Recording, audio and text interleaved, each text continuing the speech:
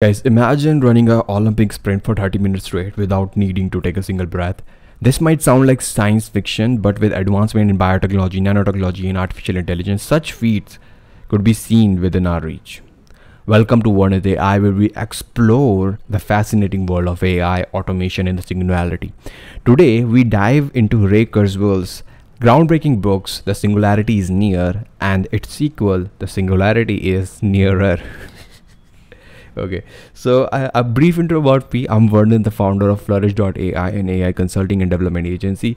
So like if your business needs help with ai the link is in the description below. Now kurzweil's first book the singularity is near was published in 2005 and laid out some mind-blowing predictions about the future of technology. His sequel the singularity is nearer released on june 25 2024 continues to push the boundaries of what we think is possible. Kurzweil has made around 147 predictions with an accuracy rate of about 86%. He predicts that we will achieve artificial general intelligence AGI by 2029 and reach the singularity by 2045. But what does that mean for us? The singularity, according to Kurzweil, is the point at which humans will merge with technology, reprogram our genes, reverse aging, and become superhuman.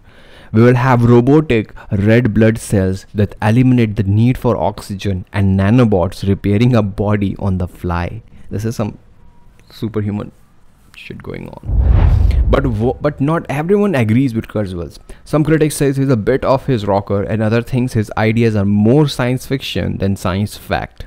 So let's take a closer look.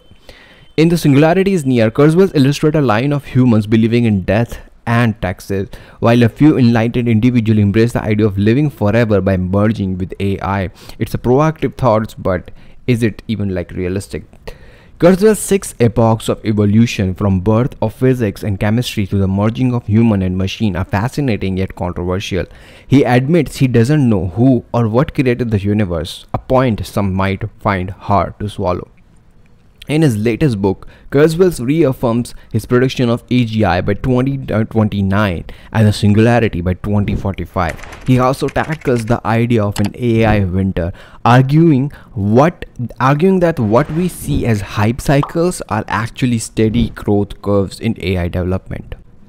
Kurzweil's prediction include significant economic disruptions and the potential for universal basic income to come to become a reality. He believes that automation will remove meaningless work, allowing humans to explore their best selves.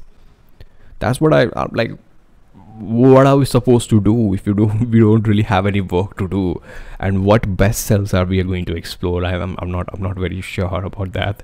You don't you don't give a human being free time right free time is devil time so will will humans merge with ai Kurzweil's predictions are bold and provocative. While not everyone agrees with his timeline or ideas, there's no denying the influence, denying the influence and foresight he's brought to the table.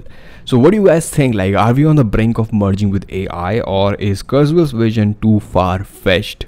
So, let me know in the comment section below. What do you think? And uh, don't forget to like subscribe hit the notification bell if you want to stay updated with the all the things going on the ai world. Uh, so yeah thank you so much for watching. I will see you in the next one.